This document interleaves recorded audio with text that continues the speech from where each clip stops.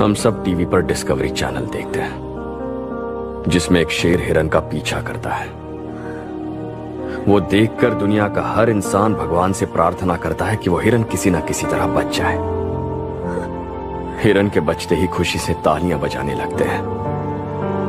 TV बंद कर देते हैं और मुर्गी को काट कर बिरयानी खाते हैं। असल में उस हिरन या उस मुर्गी पर उन्हें दया नहीं आती। उस शेर से वो नफरत करते हैं। उसका कुछ नहीं बिगाड़ सकते ना। इसलिए दया वया के भाषण झाड़ते हैं।